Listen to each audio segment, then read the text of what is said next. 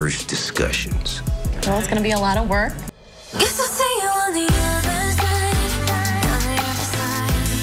Oh, cute.